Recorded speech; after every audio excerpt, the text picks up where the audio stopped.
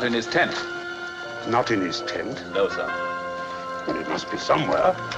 Have you searched the camp? Yes, sir. I brought the aide you assigned to him. I think the man knows something.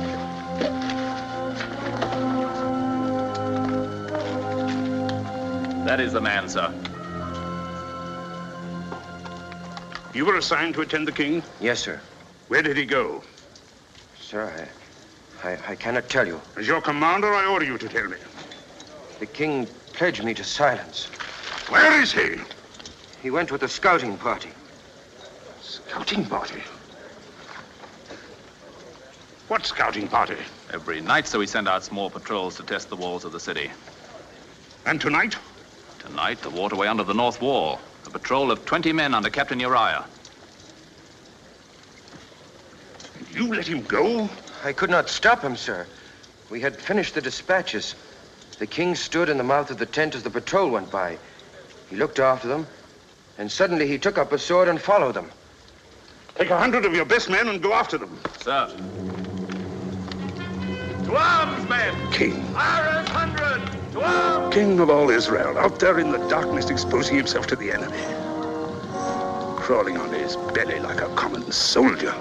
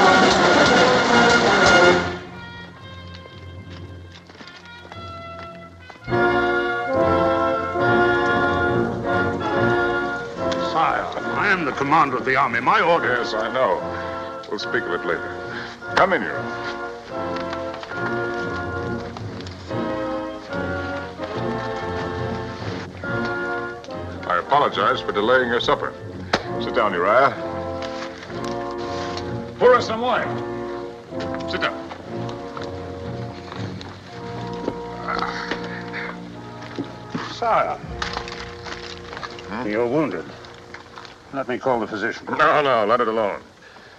It's a long time since I've shed any blood. It's good to have proof that it still runs in my veins. Sit down, Joab.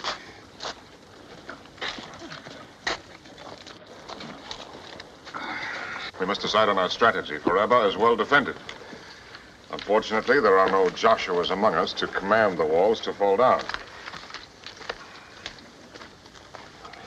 What would you do, Uriah? I can speak for the men, sir. Every man in the army would be glad to die for David. A thousand dead, perhaps two. A thousand vineyards and flocks left untended. A thousand women wailing on my doorstep. You have a wife, Uriah?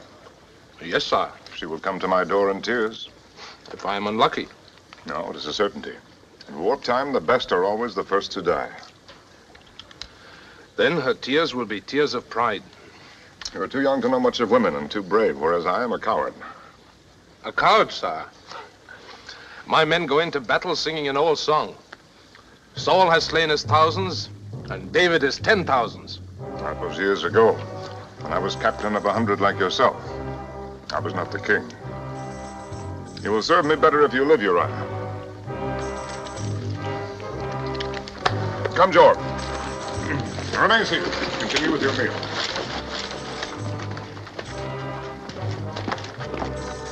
I will return to Jerusalem in the morning.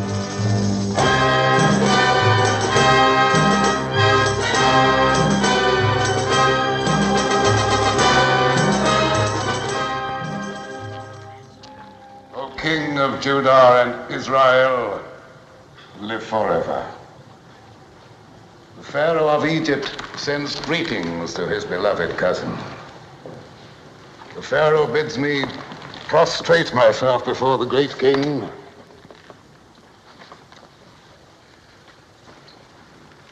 and to present this humble token of Egypt's regard. The king of Israel warms himself in the sun of the Pharaoh's regard.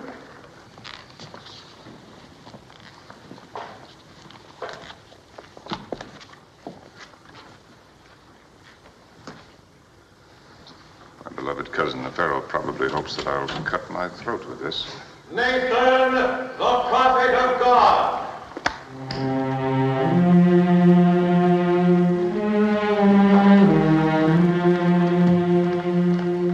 May God walk with David. It is his custom to walk with Nathan. God looks with favor on your plan to bring the Ark of the Covenant into Jerusalem. Excellent. But as to your intention of building a temple to receive the Ark, he has commanded me to say this to you. Thus speaks the Lord. Should my servant David build me a house to dwell in? For I have not dwelt in a house since the day I brought the Israelites up out of Egypt, even to this day, but have lived in a tent. Have I ever, in all these years, demanded that a temple be built for me? Now, therefore, I say to David, I took you from the pasture, from guarding your sheep, to make you shepherd over my people, even over all Israel. Yes, yes, I understand. God sees no need of a temple. Is that it? That is his word. Very well, I leave such decisions to you. To God, sire. Whatever you like. You may take full charge of the arrangements to bring the Ark here from Baal, Judah. My father. Will you hear my petition? Amnon, my son, you need not beg for an audience. You promised me, as the heir to Israel, all the vineyards north of the Mount of Olives as far as the borders of Ephraim.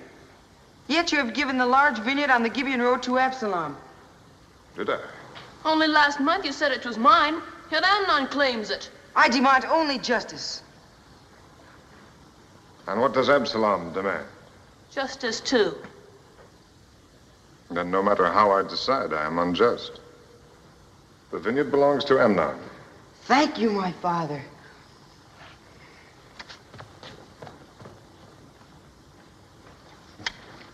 Come with me.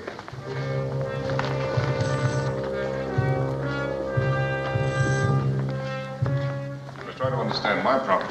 Amnon is the heir. He's been anointed. If it became known that I favored you, it would weaken him in the eyes of the people.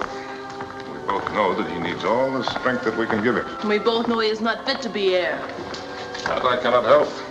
You could anoint me in his place. Even if I wanted to, I am bound by the law. With our people, the law is everything. It is in their bones. It's only one vineyard, Absalom. I'll give you your choice of my own holdings. I want only what is mine.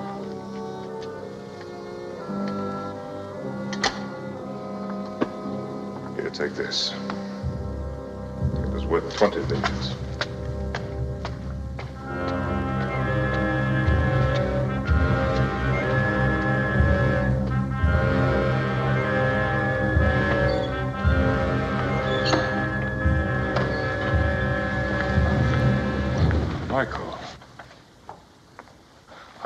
Expect to see you here. Does my presence displease the king? Of course not. You're always welcome. If the sight of me is so welcome, why haven't you come to my chamber since your return? I had much on my mind. Yet you found time to greet your other wives. I was the first. And now I'm the last. If you had been with the others, I would have greeted you too. You remain aloof by your own choice. There was a time when you thought well of my aloofness. I make no objection to it now. Do as you please. How graciously. You give your royal approval. Your sarcasm is wasted. We both know that royalty is a fraud. It was no fraud when my father was king, I've never denied that Saul was every inch a king. and his successor every inch a fraud. I will not argue with that either. Do you think that hanging his spear on your wall will make you royal? Michal, please. I have messages to read. Oh, I understand. I am dismissed. The shepherd's son is dismissing the daughter of Saul. I am to go and sit with the concubines. They are my wives. And you are my wife. Is that not enough?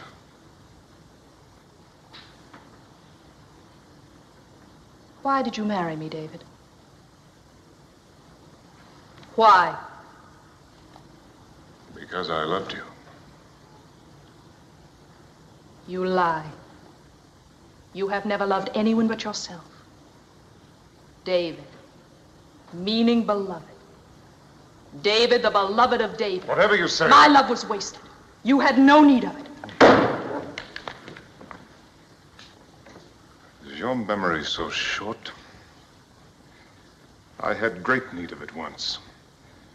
I begged you on my knees, but you deserted me. You refused to follow me into exile. You even dishonored your vows and let your father marry you to another. Against my will. You can say so. I cannot help thinking that real love would have fathered a stronger will. Then why did you take me back? You might have guessed.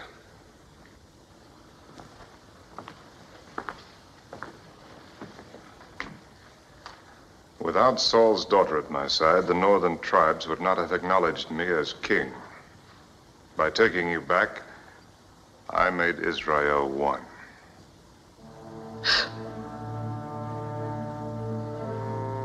Michal, we're past the days of our passion. Love or hatred or anguish, even cruelty. Why should we torture ourselves? We have to go on living, Michal.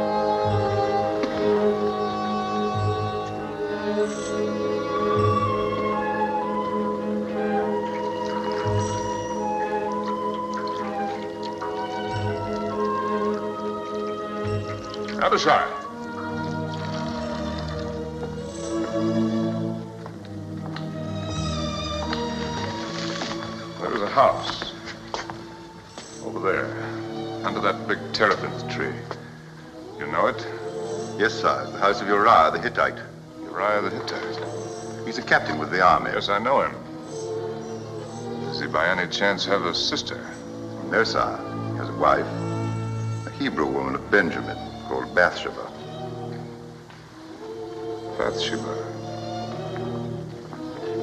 During my visit to the army, this Uriah's gallantry was called to my attention. It's been in my mind to reward him. Perhaps in his absence, his wife could accept the reward. I'll send for the woman in the morning, sir. No, send for her now. She shall dine with me tonight. Yes, sir.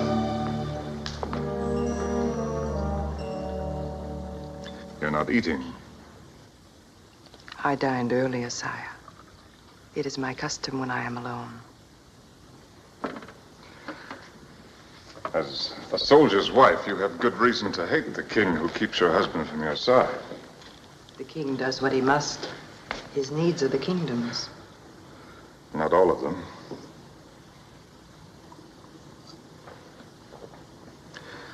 This wine is Phoenician. I find it mellower than ours. It has the blandness of the sea air. Have you ever visited the coast? No, sire. I lived for several years among the Philistines. The cold people like their sea. We Hebrews are of the desert. We breathe its wind and our blood runs hot with it. Our emotions are fierce like the desert wind. We worship our God fiercely. We love fiercely. We feel sorrow fiercely. Even the lesser sorrows like the absence of a loved one. Has Uriah been away for long? We have been married seven months. Of this time, we've been together six days. A poor return on the hopes of your betrothal. You are generous indeed not to hate me. I had no hopes, sire. I first saw Uriah on our wedding day when my father brought me to his house. Then six days is the sum total of your love. Of our marriage. Yes, sire.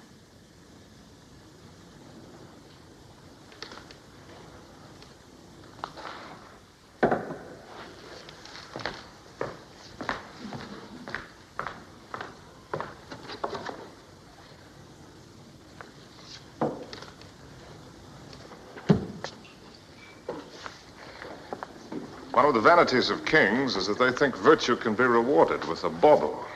Our God must laugh at the spectacle of unvirtuous kings, hanging bits of rock and metal on virtuous men.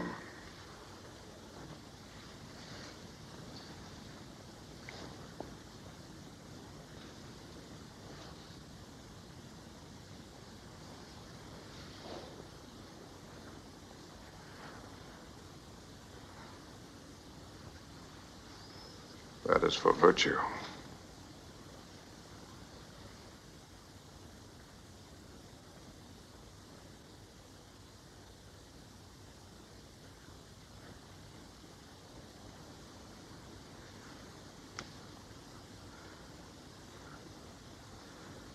Now you understand why I sent for you. My understanding is not necessary, sire. Why not? You are the king. Is that all? Well, leave the king out of it.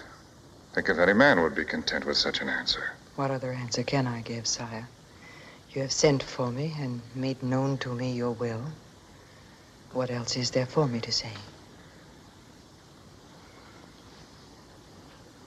In Egypt, that would be enough. There, the Pharaoh has certain rights he can command, but I, even if I had the right, I've never used my power to take anything by force. All that I have ever had has been given to me. Freely, without restraint. Even Israel, I refused the throne until every elder of every tribe had come to me and begged me to take it. It's been a kind of pride my pride never to force myself on anyone. So I said nothing to you until you told me that there is no love in your marriage. Yes, you told me that. And so did Uriah. His dream of glory is his wife in tears. You'd better go.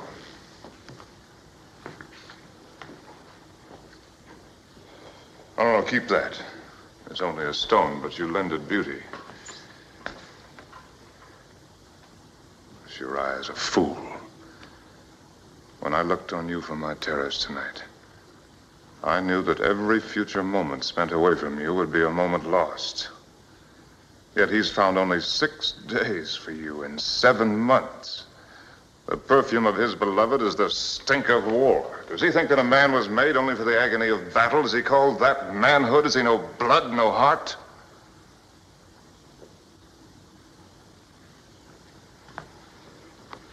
Now go.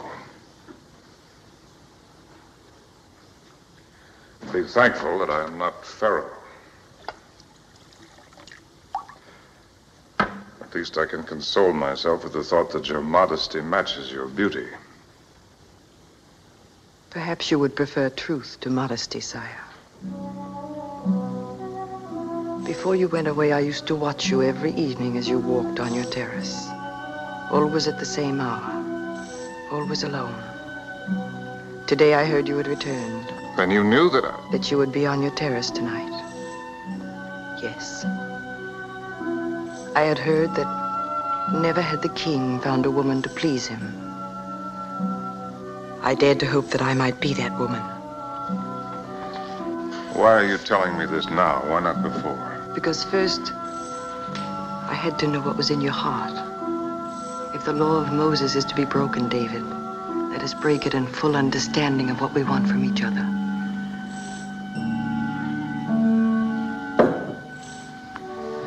No, please. I'm not finished. There are women you could send for and send away again. I am not one of them. What do you want? To please you. Have I not made it plain enough that you please me? I'll never send you away. If that is what you want, never as long as I live. No, David, that is not all I want. Think not of this one night, but of all the days and all the nights to come. Think if I can give you what you need for as long as you live. As your wife.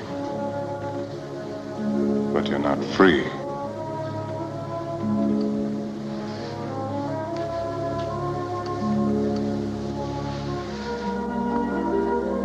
If I were free. The king is not supposed to need anything.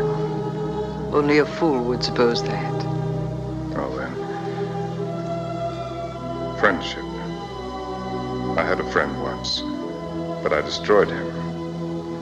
The others who call themselves friends, I. I never see their eyes, only the tops of their heads as they bow to me. Their hands are extended to me, but palms upwards for favors. Even my own sons. Will I see your eyes, Bathsheba? You will see them. And my hand will be in yours. That much is easy, David. I'm only a man, Bathsheba. I need someone to understand that. I need the kind of understanding that only one human being can give another. I need someone to share my heart. The man I watched from my window was not the king, but a man whose heart is well worth the sharing.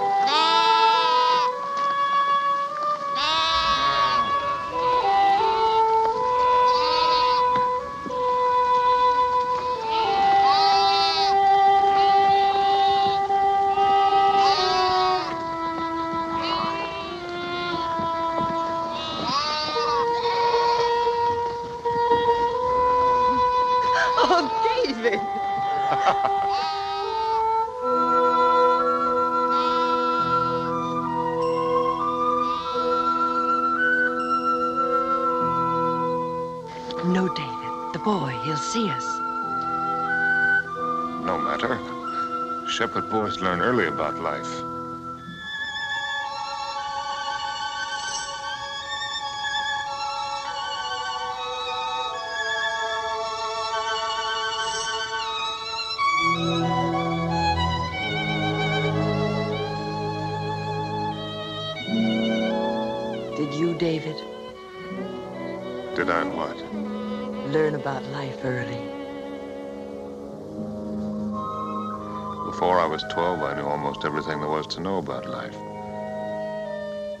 Death. 12, I'd killed wolves. 13, a man. Tell me. Not about the killing. Tell me about the boy you were.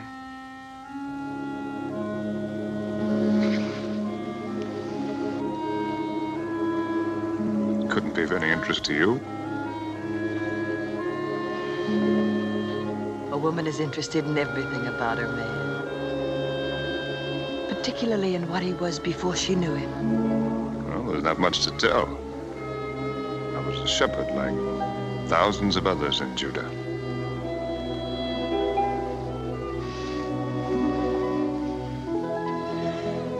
You slept out under the stars. Hmm. Did you dream, David?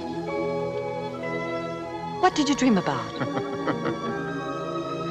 Surely a man is entitled to the privacy of his dreams. then they were of women. Naturally. A whole procession of them. And every one of them ravishingly beautiful.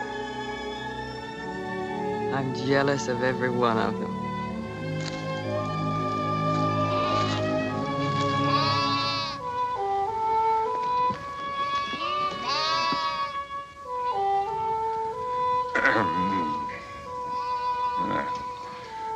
It's been a dry year.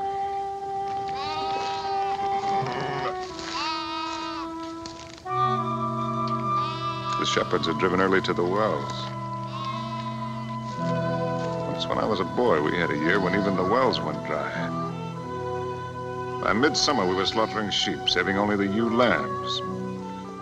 That was the year that I fought the wolves. Tell me. I had been made desperate by hunger. I fought them for eight hours with my slingshot. In the morning, six of them lay dead. And you were only a boy. Oh, I was quite a hand with a sling. Here, I'll show you. May I try your sling?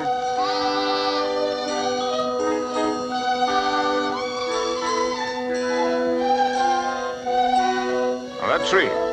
Watch.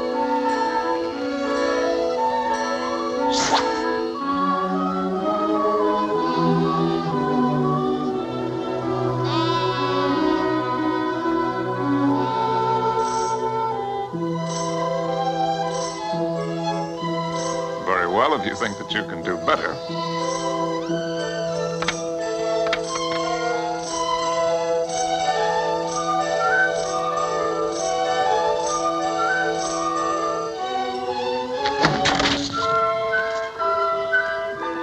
Yes.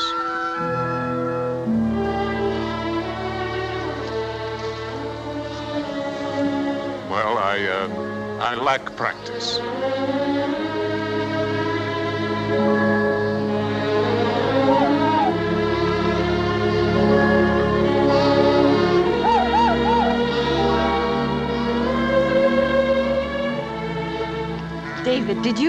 Kill Goliath? After seeing me with that sling, how could you doubt me? Was he truly as big as they say? Well, I will admit that he grows a little bit bigger every year.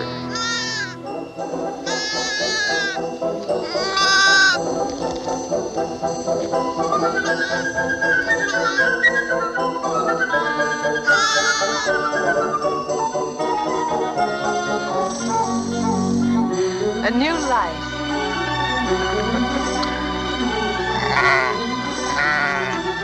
Oh, that's his mother.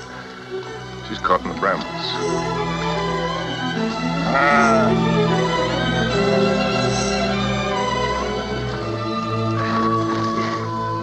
I'll give you some help. Thank you. Now, let's clear those hind feet. No, no, use both hands.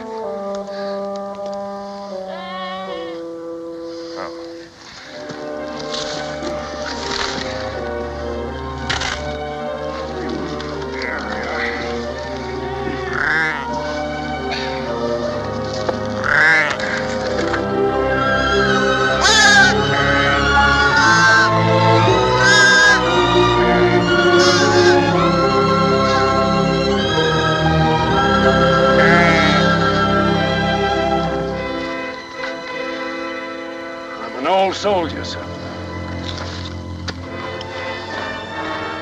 They fought for the king. David? Not him, sir. But the king, King Saul, it was in his last battle. There, at the Mount of Gilboa. It's peaceful now. Good grazing for the flocks, though we lack rain this year. But that day it rained blood. Yes. I saw the king die. Saw him fall on his sword when he knew the battle was lost. Tell me, did you also see the king's son die? Jonathan. Yes, sir, I did. You see that rock that juts out from the face of the mountain? The big one, with a sun on it. Prince Jonathan stood there with a loyal friend on each side of him. He fought there the livelong day. His friends went down, but still he fought against tens, then against hundreds. They overwhelmed him. Those Philistines and their brass and heathenish helmets. Ah, it was a black day for Israel. The king gone, Jonathan gone. None worthy to take their place. Yet Israel found a king in David. Saul was king. Jonathan should be king today.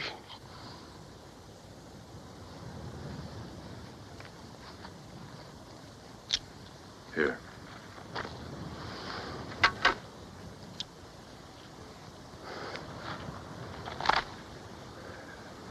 Thank you, sir. Thank you kindly.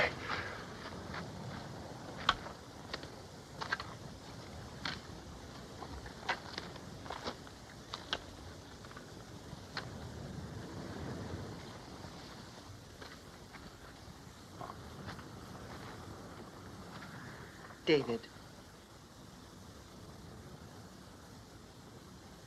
Come. It's getting late.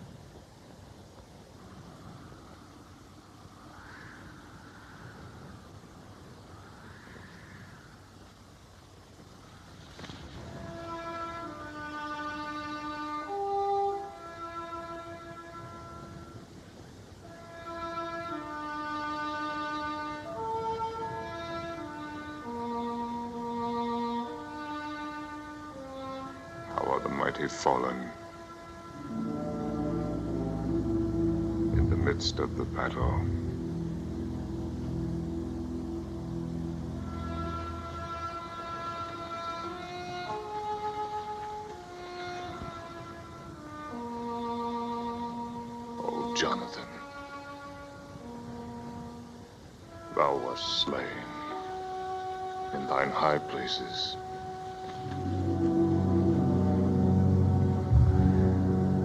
I am distressed for thee, my brother, Jonathan.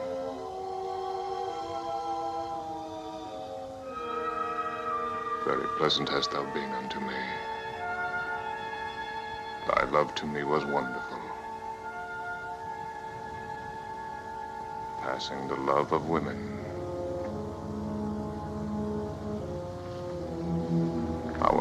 Fallen? And the weapons of war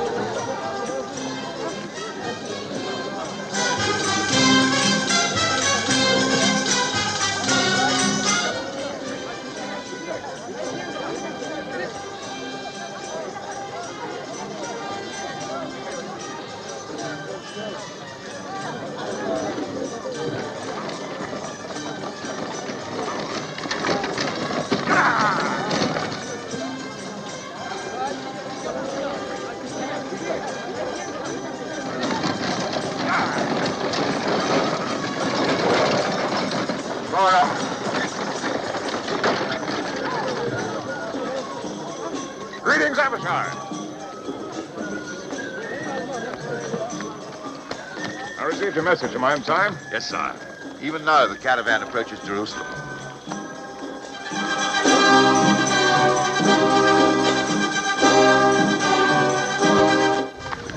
Look, Bathsheba. The Ark of the Covenant. The shrine that has traveled with our people through all their wanderings. I'm bringing it here to its proper home. Get in, Abishai. I'll go down to meet Nathan. You'll take Bathsheba to her house.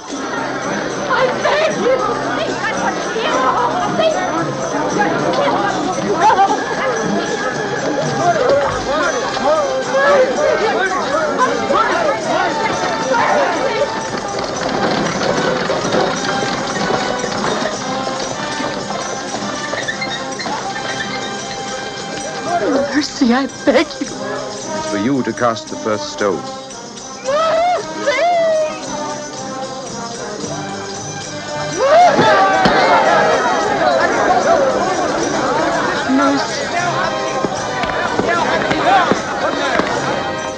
Adulteress, sire. She betrayed her husband in the arms of another. She was judged condemned under the law. Go.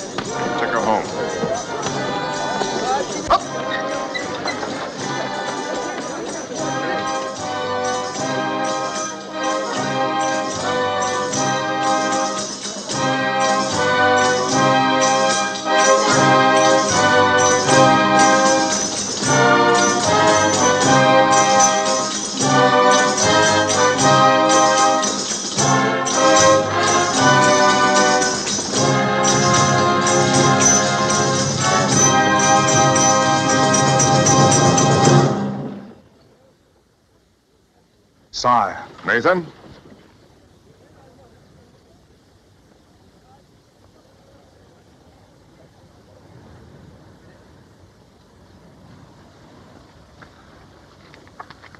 God's design is a strange one, Nathan. Consider how this box of wood has outlived the flesh that made it, and preserved it, and venerated it.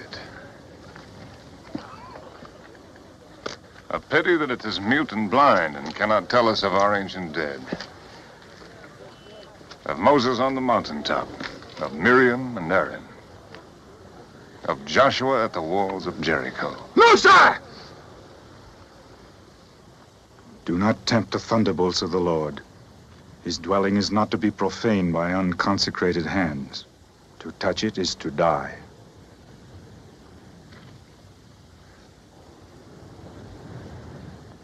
As you say, Nathan. The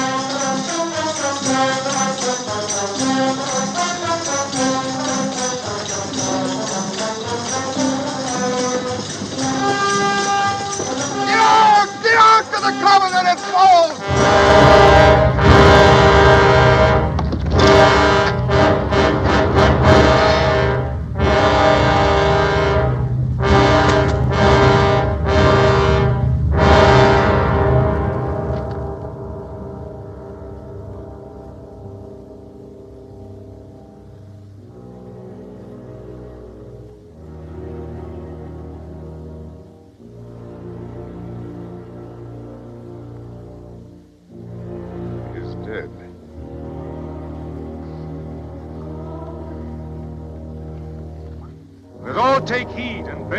To what they have seen, that the people may know the will of God. Time is not right for the entrance into the city. Unhitch the oxen. Let a tabernacle be erected on this spot. Let the ark remain here outside the walls until God has signified the appeasement of his wrath.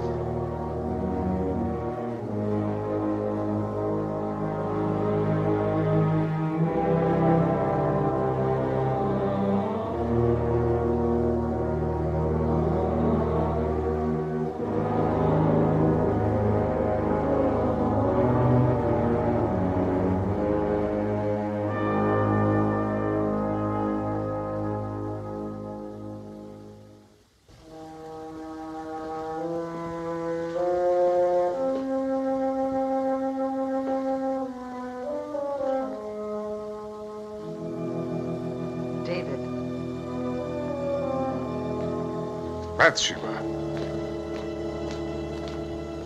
You shouldn't have come here. I had no choice. My news would not wait. David, I bring you trouble. Our secret is no longer a secret. Who has learned it? No one yet. But soon all will know who have eyes to see. I'm sure now of what I have feared this past week. I am with child. Beloved.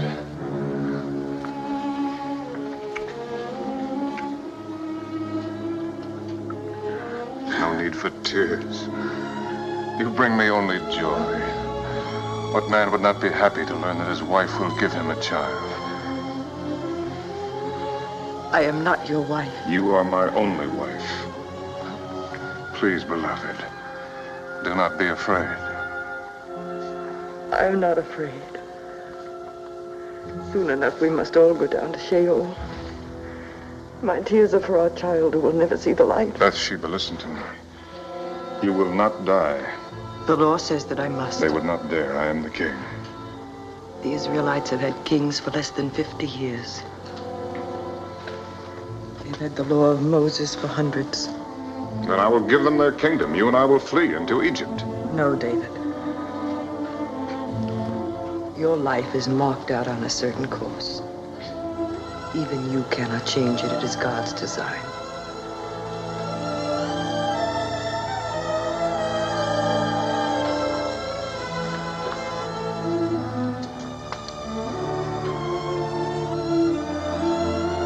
There is another answer.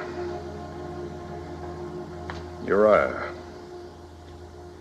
Uriah is a soldier.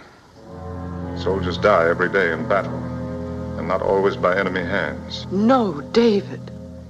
Even our love could not bear the burden of such a crime. The crime lies in the chance that I was born a Hebrew. In any other nation on earth, Uriah's life would be forfeit. It would be no less a crime.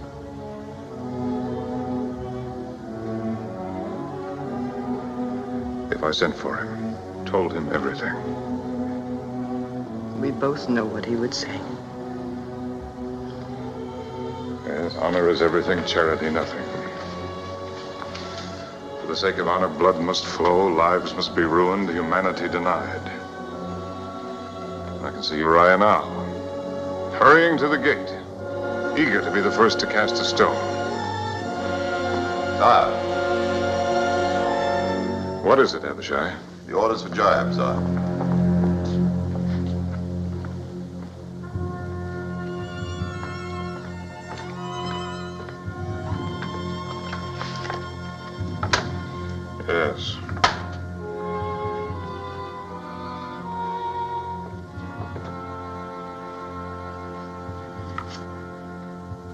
Send it now.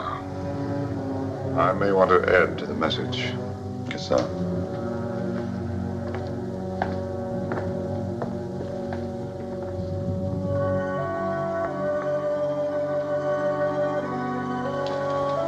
There's another way. Perhaps it will solve nothing. But at least it will gain us time.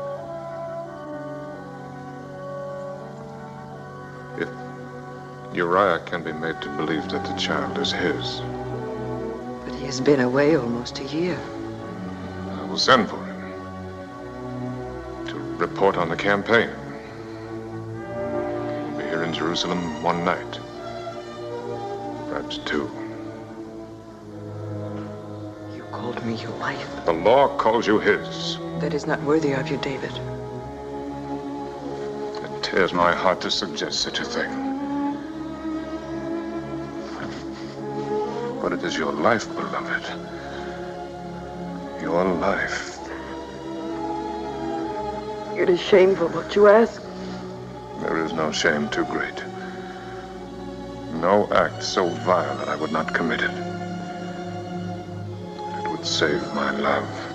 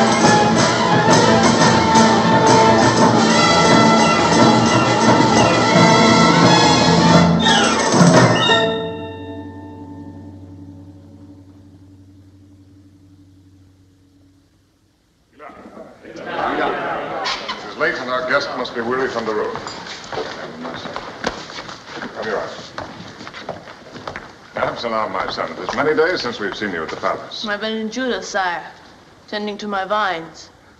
And do you expect a good yield from your vines I have no reason to be dissatisfied, sire. in such a bad year? You're to be congratulated. I should like a word with you in private, Uriah. I'm at my king's service. I will not keep you long. You must be eager to go home. To your wife. You say the attack is planned for the day after tomorrow. Yes, sire. Joab is confident that it will meet with success. He promises you Rabbah within a week, sire. With your permission, sire, I plan to return to camp early tomorrow so that I may lead my hundred into the battle. As you wish, Abishai will have dispatches for you to carry. But if you desire to remain in Jerusalem longer, My only desire is to serve my king. I might believe that. But you have a wife. My wife is nothing, sire, beside my duty. Sit down, Uriah. They say she's very beautiful. As women go.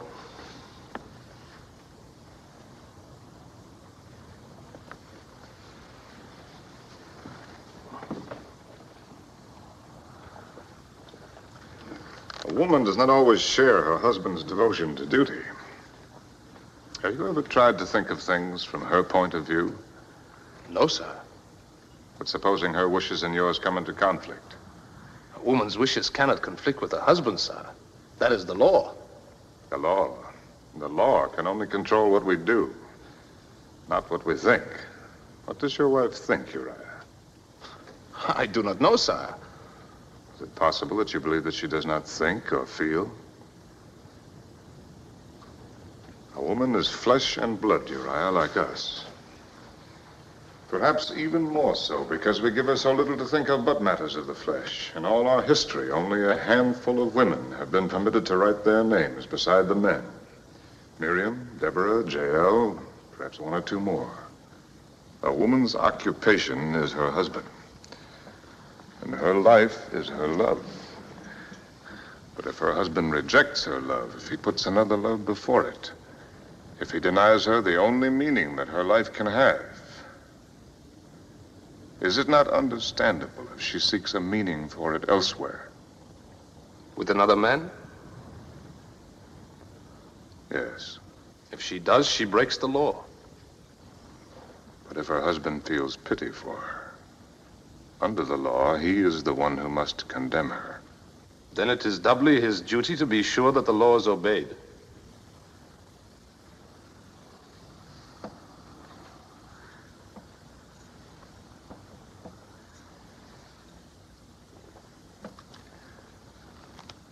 Condemn your own wife, Uriah? Bathsheba?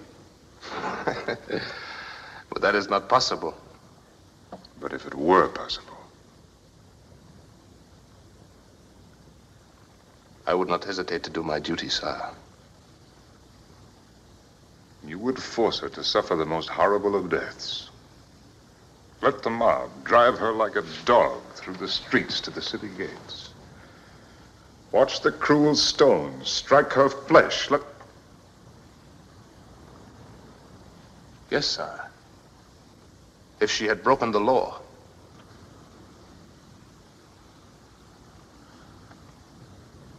I've kept you too long from your bed. You may go. Sire, will you grant me a boon? What is your wish?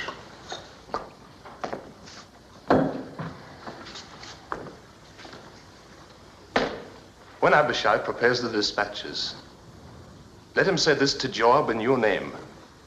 Set Uriah in the forefront of the hottest battle, that he may serve as king to the utmost of his ability.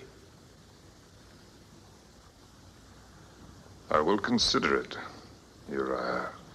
My thanks, sire.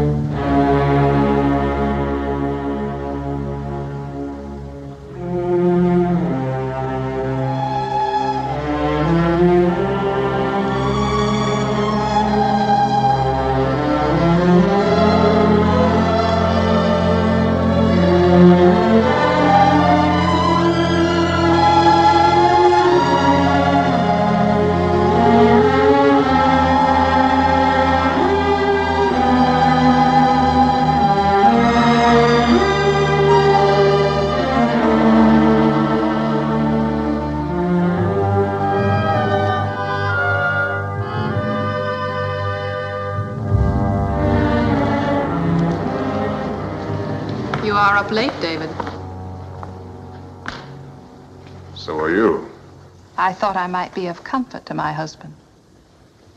It's a terrible thing to know that your beloved is in the arms of another. Do not trouble to lie. You see, I know your secret. Yours and the Lady Bathsheba's. You know nothing. The lady has servants. Servants tell things to other servants, and they in turn tell them to their mistresses. Daughter of Saul concocts a fantasy from servants' gossip. Bathsheba's condition is no fantasy. And the child she carries is yours. Oh, my husband. I guessed at once why you had sent for Uriah. Only David would have thought of it. A clever trick. Worthy of the son of goatherds. Get out. You cannot save Bathsheba now. Your scheme has failed. Uriah has not been to his house all night. Even now, he sleeps here in the palace with the officers of your God.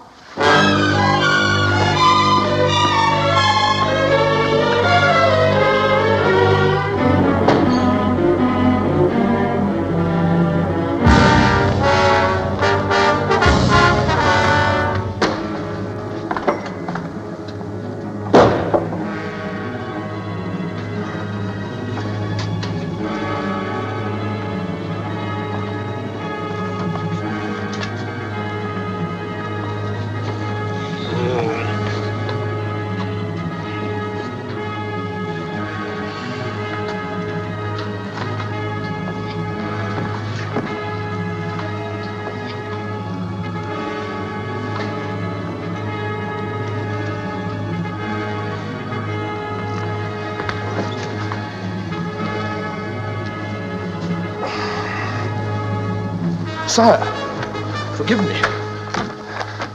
I have slept late. I told you to go home. I ask your pardon, sire. I could not go to my wife. Why not? It's a matter of my own worthiness. Perhaps you will consider this foolish, but when Joab told me I was to come to Jerusalem, I swore an oath on my sword. I swore that while the army still slept in tents, while Rabbah still stood in defiance of God's will, I would deny myself the comforts and the pleasures of my own house. I would keep myself clean for battle as if for entering the tabernacle of the ark. I'm sorry if I have offended my king.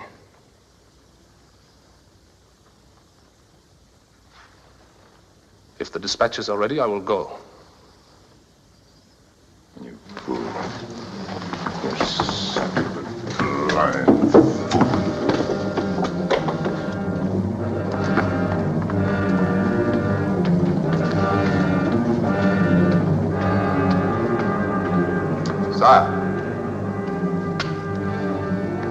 Dispatches for Joab, sire. Dispatches.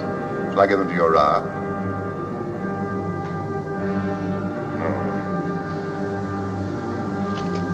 No.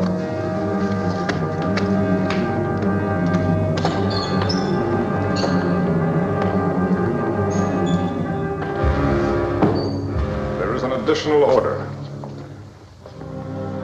Set Uriah in the forefront of the hottest battle. It is his own wish, Abishai. Even his own words.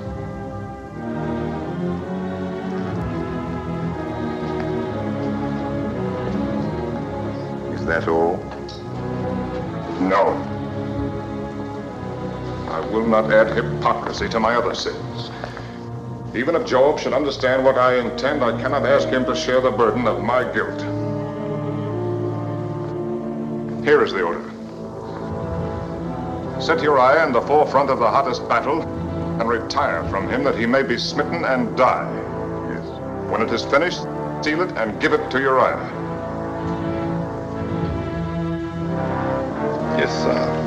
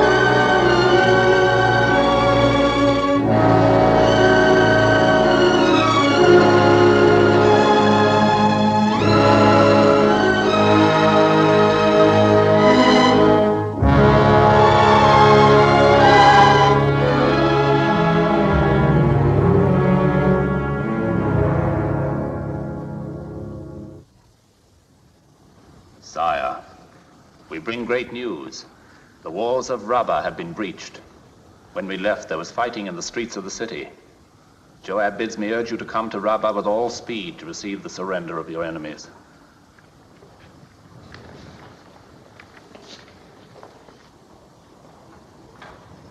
And our dead. Our losses have been heavy, sire. Of the captains of a thousand, Abimelech, the son of Jerubbaal, and Heled, the son of Ikesh. Of the captains of a hundred, Hezro the Carmelite, Egal, the son of Zelik, Ittai, the son of Ribai, Abiel, the Arbathite, Eliam, the son of Reuben, Shammah, the Haradite, Uriah, the Hittite, Bani, the Gadite, Asmaveth, the son of Eli, and many more are wounded. How did Uriah the Hittite die?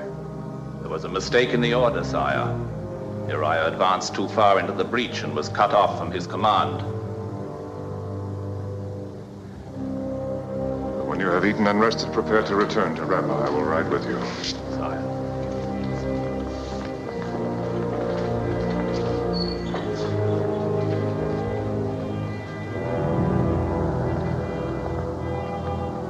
Sire, Lady Bathsheba's servant is waiting for your answer. Go to Bathsheba. Tell her that Uriah is dead. Tell her to prepare for our marriage at the end of her month of mourning. Will you not go to her yourself?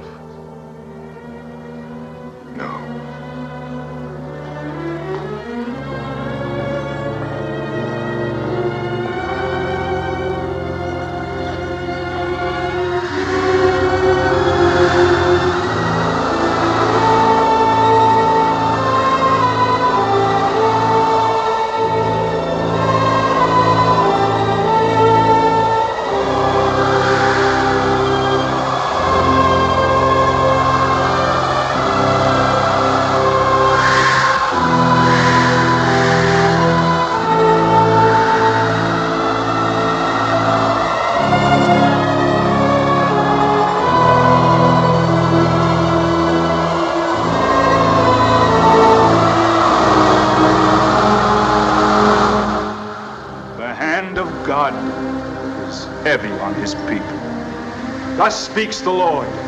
I will withhold the rains and cause the fields and vineyards to dry up and the flocks to grow thin.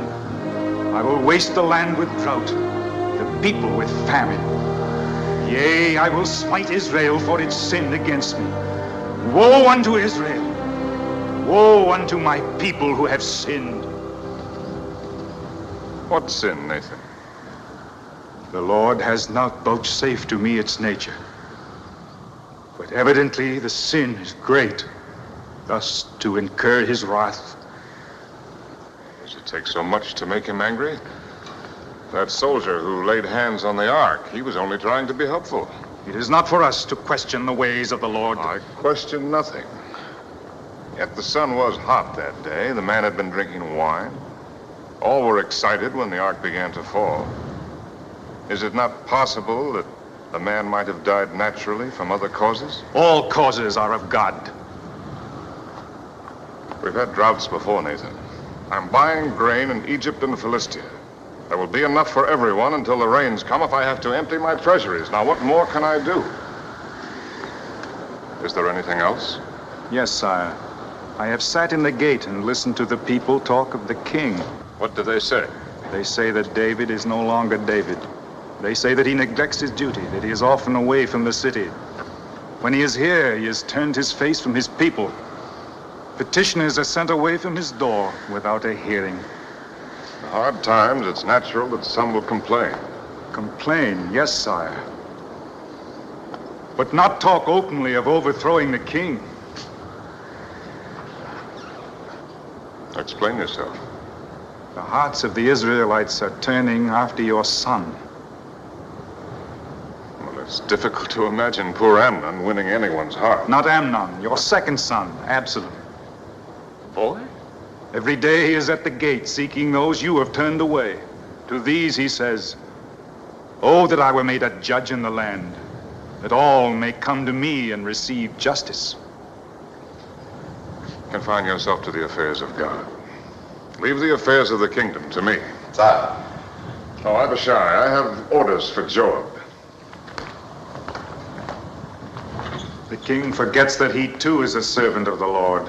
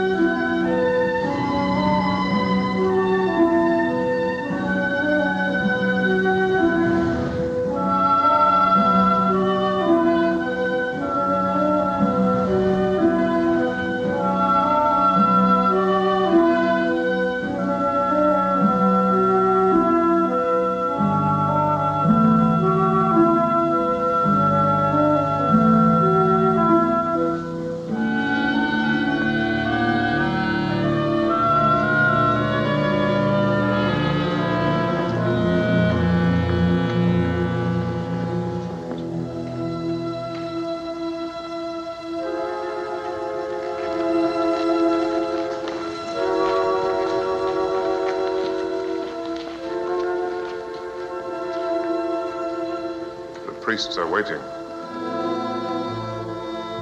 I have been waiting these days and weeks, waiting for a word from the one who called himself my lover. For a sign that all of his promises were not lies. Beloved, Do not I- call me that, even the word is a lie. If you still loved me, you would not have avoided me. You would not have left me in darkness, alone with my fears. You know that I was called to Rabbah. It is a week since your return. They are waiting. Let them wait. There will be no wait. I will not try to justify my behavior. But even if I have earned your hatred, you know why the wedding must take place. Could more easily find courage to face the stones of the mob. If our marriage is no more than an act of charity on your part, then say so. If I have lost your love, tell me, and I will trouble you no longer. I am not a beggar, David. Beloved, it is I who am the beggar. I beg your patience. If you love me, say no more. Take my love on faith. It is yours, and will always be yours.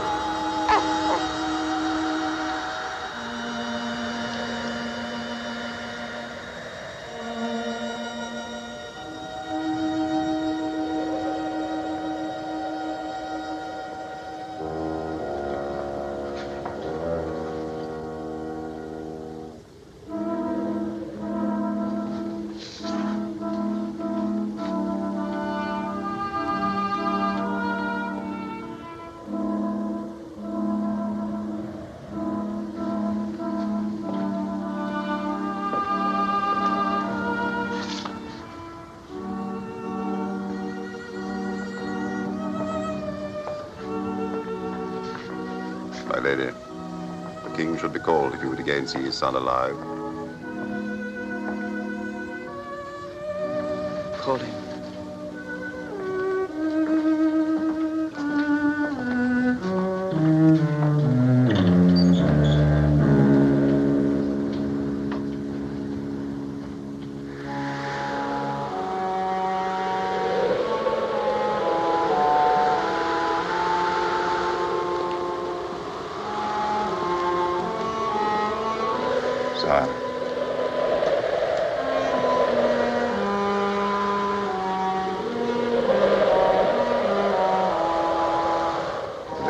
The asks your presence. The child is better. No, sire.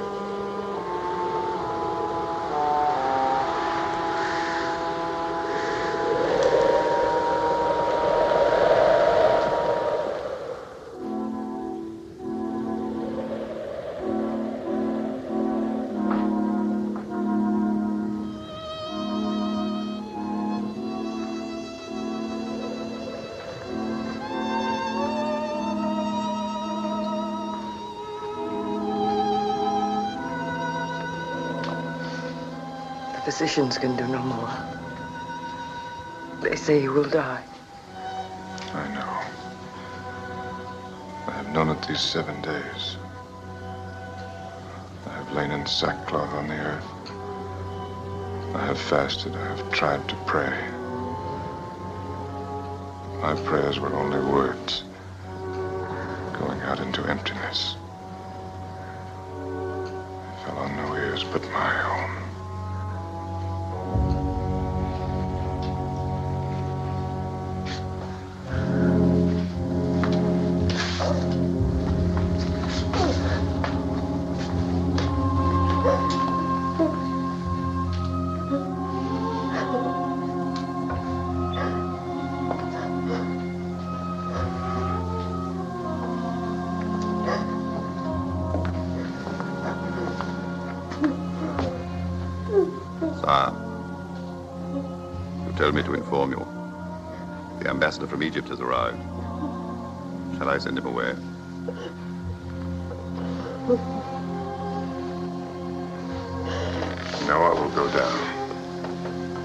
The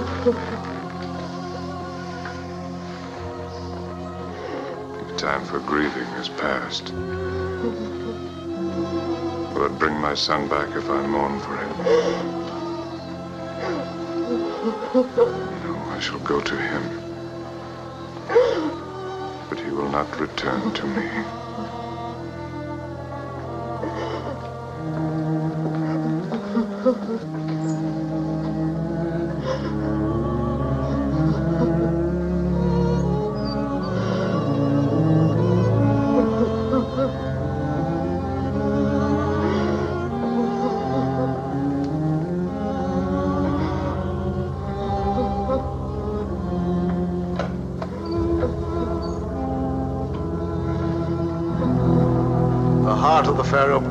For his cousin and for the people of Israel. But alas, the Pharaoh's storehouses are empty. There is barely enough grain to feed Egypt. The heart of the Pharaoh cannot bleed, for it is bloodless. The storehouses of Egypt are full. My sacred Osiris, I swear to you I speak truth. Dog of Egypt, you lie. And your master lies.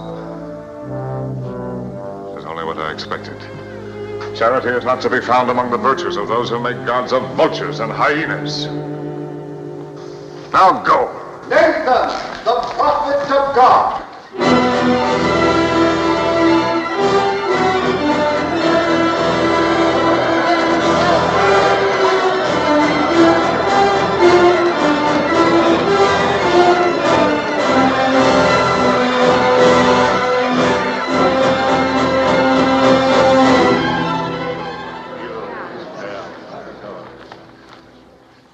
Come on a matter of justice, sire. Hear and render judgment.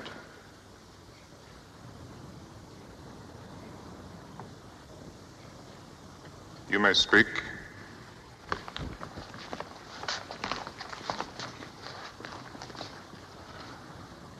There were two men, one rich and one poor. The rich man owned great flocks and herds. But the poor man had naught but one ewe lamb. He reared it, and it grew up with him and his children. It ate of his food and drank of his cup, and it was like a daughter to him. Now there came a wayfarer to the rich man, asking meat. But the rich man did not take of his own flocks, to feed his guest. Instead, he took the poor man's one ewe lamb and slew it and prepared it for the wayfarer. What is your verdict upon this man? He shall restore the lamb sevenfold. The lamb is dead. It cannot be restored. Then the man deserves to die because he had no pity. You are the man.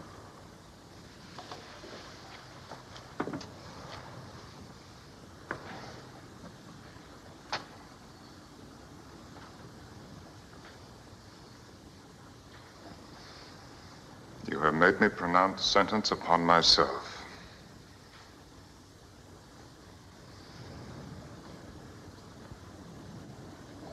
Very well. It is done. And there is no appeal. It is the will of God, and I accept it. Gladly. It is not his will that you should die, David. Worthy or unworthy, you are his anointed. Through Samuel, he chose you to lead his people. Your labors in his behalf are still unfinished. But you cannot escape the punishment of the Lord. I have not escaped it. My son is dead. His justice is still unsatisfied. You have paid for your adultery, but you have also killed. You have taken up the sword and slain your fellow creature for your desire. Now, therefore, the sword shall never depart from your house. You shall know the hatred and ingratitude of your own flesh. Brother shall turn against brother, and son against father. The history of David's house shall be a history written in blood. You tell me nothing new. I am content. Even so, the tally of the Lord is not paid. The woman has been denounced. She also must expiate her sin. She has lost her child. Is that not enough? Bathsheba has sinned, and she must render payment according to the law of Moses. Yes. Uriah's death was my act, and mine alone. She was a faithless wife. Faithless only because I made her so. Could she deny the king? When I called her, could she refuse to obey my commands?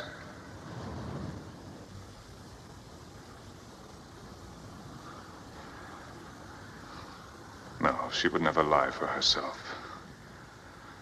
And I will not lie for her. But even if she sinned, she has done no evil. She came to me with love and tenderness. She lifted up my heart. She has brought no evil with her. She has brought adultery and murder. She has brought the drought and the famine. She has brought the wrath of God upon Israel. They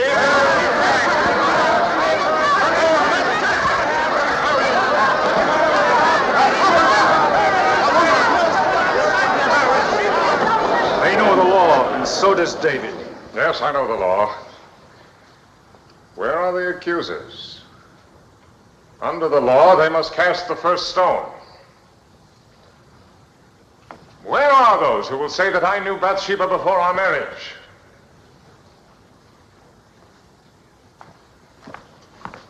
Who will dare to say it to my face?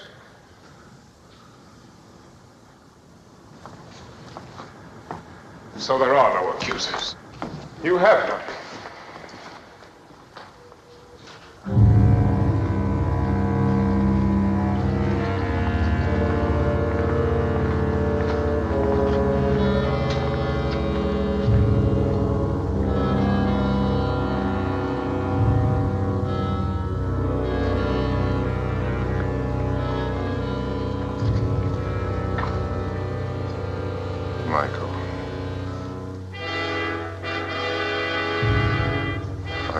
Find it in my heart to blame you for what you do.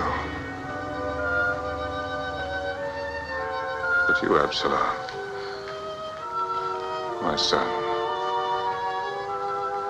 have I given you cause to hate me so? Go, David, and bring Bathsheba here to face her judges. You have made her a queen in Israel. It is not fitting that she should be dragged to judgment by the people.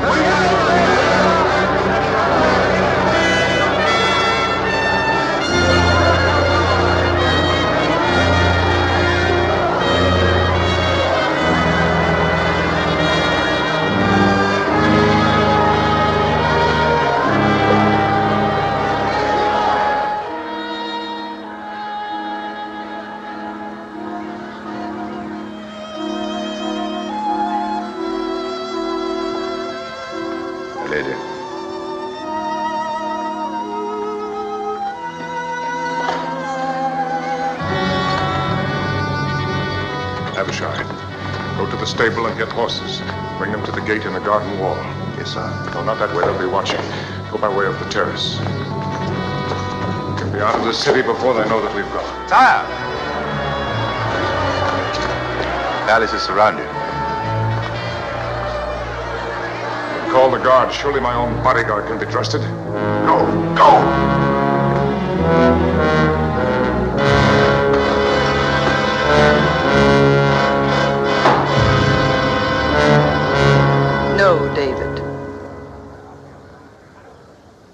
Cannot fight against the will of God. A God who punishes the guiltless. I am not without guilt, David.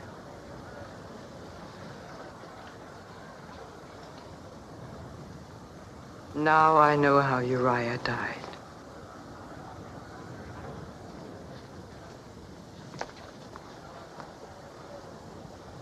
I think I really knew before our marriage. Knew and put it from my mind. I lacked the courage to face the truth. My guilt is as great as yours. Greater. Because I let you bear the burden of it alone. I killed him. I wished him dead. God sees into our hearts, David.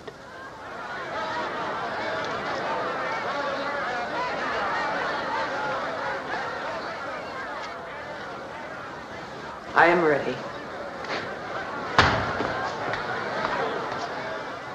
Yet I cannot let them take you. I cannot let you die.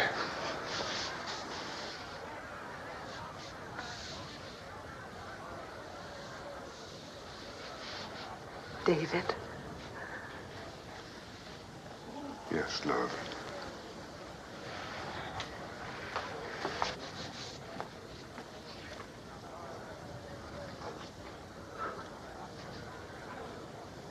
In all our time together, you have never played for me. Something from your boyhood. When you were a shepherd.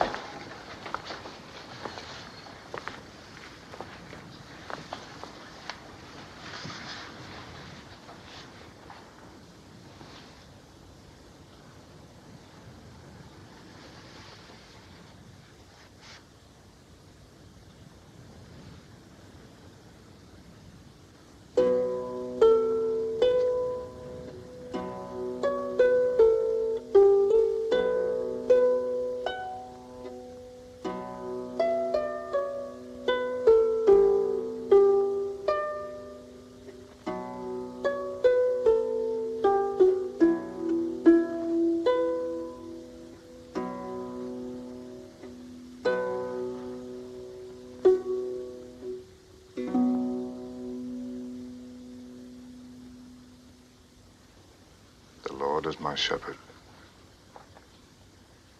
I shall not want. He maketh me to lie down in green pastures. He leadeth me beside the still waters. He restoreth my soul. He leadeth me in the paths of righteousness for his name's sake.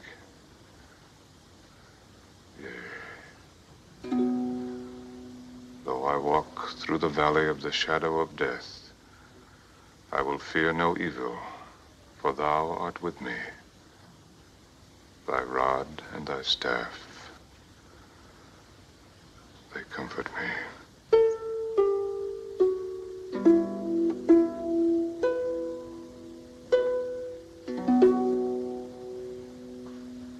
Thou preparest a table before me in the presence of mine enemies. Thou anointest my head with oil. My cup runneth over. Surely goodness and mercy shall follow me all the days of my life. And I will dwell in the house of the Lord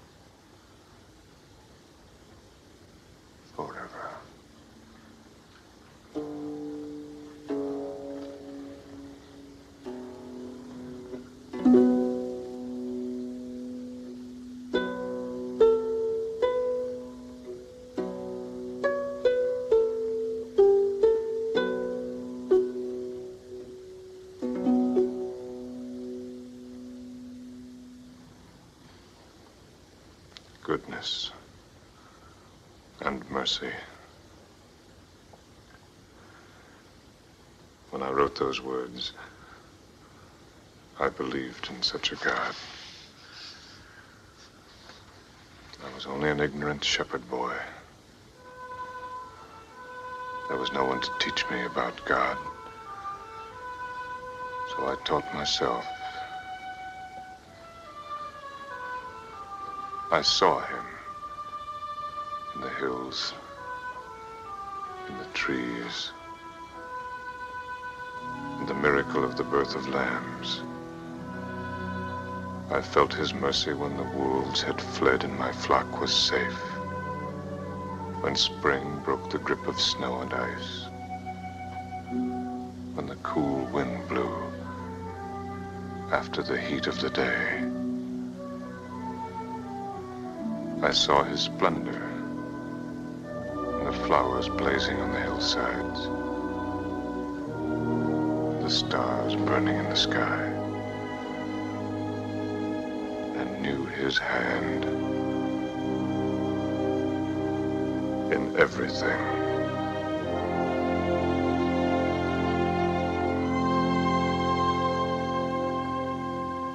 Then I wandered from him when I tried to find him again.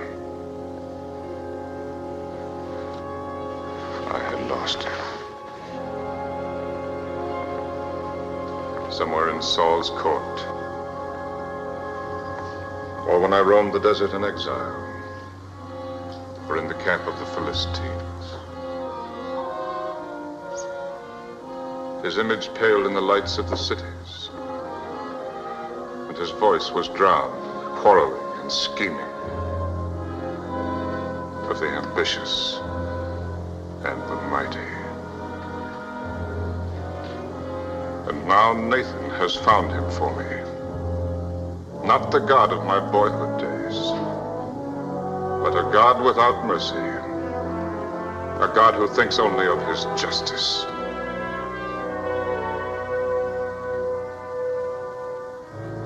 So you must die.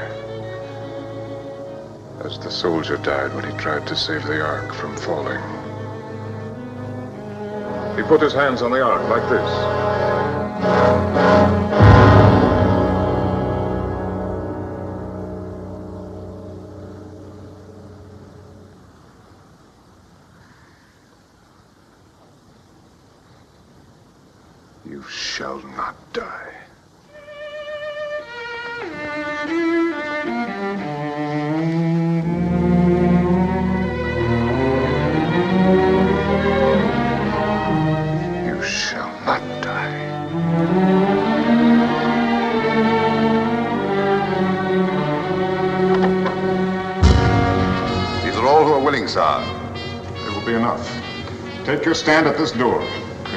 tries to enter, cut him down.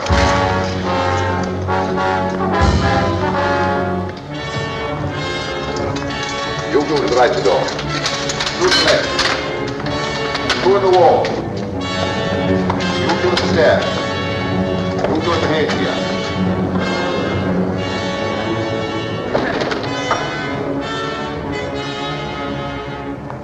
Where's the woman? She is not coming.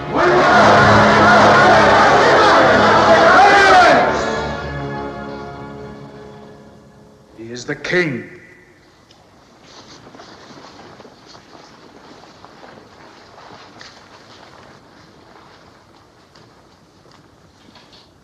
You have heard the word of God. I have heard the word of Nathan.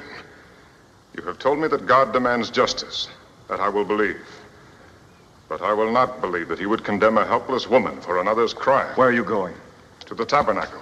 If God is what you say he is, if this is truly his justice, then let him speak for himself. Will you go to him in anger? He has shown me nothing but anger. He has turned his face from me. It was David who first turned his face from God. Once there was a David who knew how to pray, who sought nothing for himself at the hands of God, who found his strength in faith alone. If that David still lives, his God will not deny him mercy.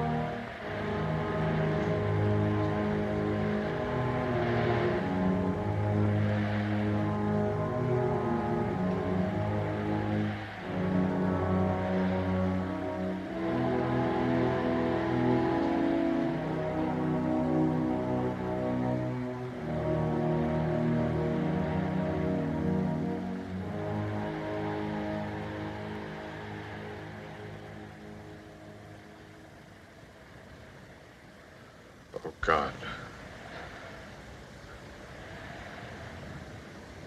Thou God of my early youth, hear my prayer. Let thine eyes, which alone see clearly, fall upon thy worthless servant. In all things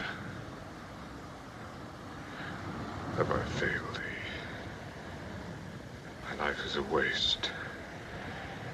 My crimes are many and terrible. To my I have bequeathed the evil that is in my blood.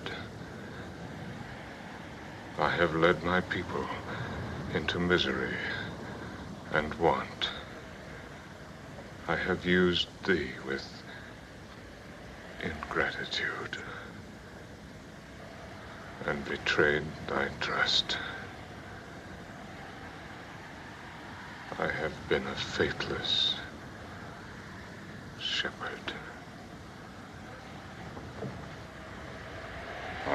blessed in the sight of thine eyes.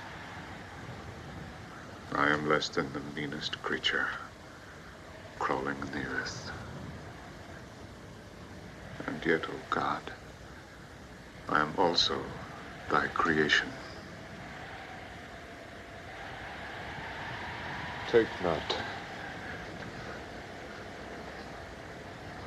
thy Holy Spirit from me. Thy Spirit, which abode with me in the wilderness. I ask nothing for myself, O God. By my sins, I have put myself beyond the compass of thy forgiveness. But lift thine hand from thy people who suffer for my crimes. Forgive them the sin that is not theirs, but mine. Let the land thou gavest their fathers flow once more with thine abundance.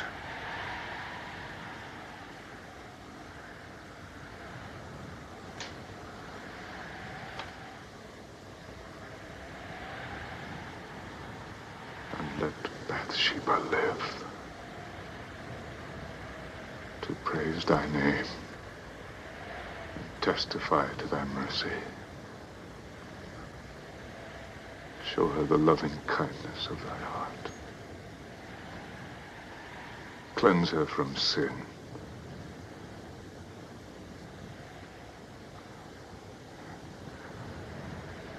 And let thy punishment fall on thy servant who has earned it. Look not on the sinner who comes before thee, but on the boy he was, who loved thee, and who would have died for thee. Make my heart as his. Let the boy live again in his innocence. Grant him mercy and take this David's life.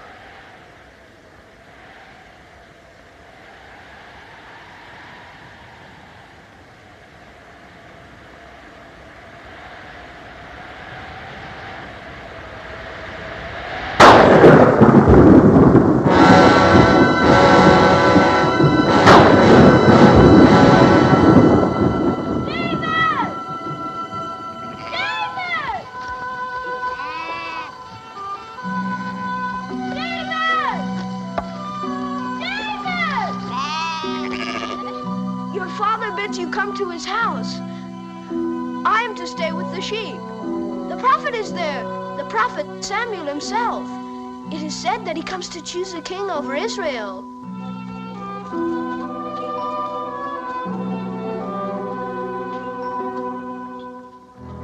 Eliab. Abinadab. Shammah.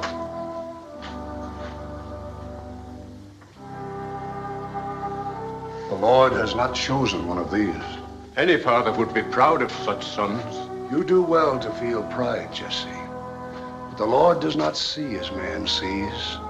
For man looks on the outward appearance, but the Lord looks on the heart. Who is this? My youngest son, David, who tends the sheep. But he's only a boy. A dreamer, a singer of songs. Come hither, David.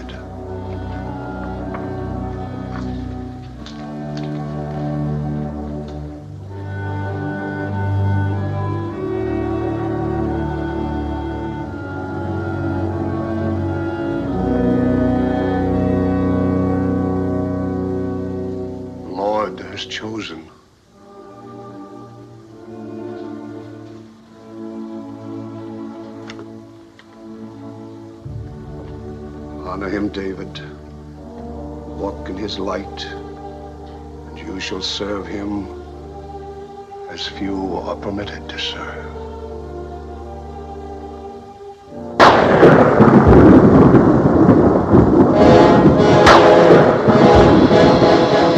Where is your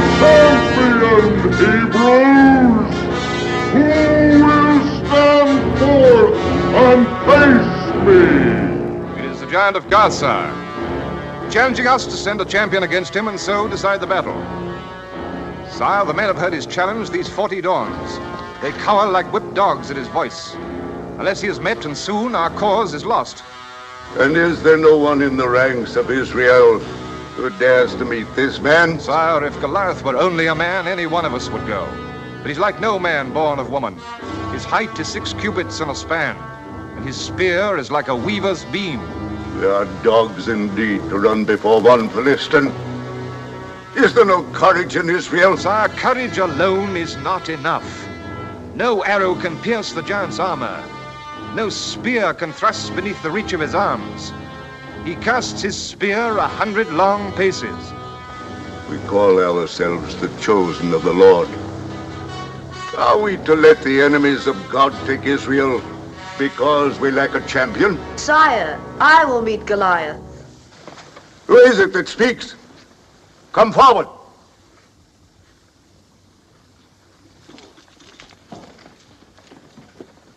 David, my armor bearer. I will meet him, sire. Sire, Samuel calls this boy the Lord's anointed.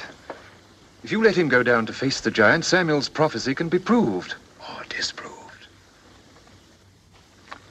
David, you may meet Goliath. No, David. Father, he is my friend. Silence, Jonathan. Go, David. With God, David. Is Goliath a dog that you send a boy to meet him? Come closer, little one.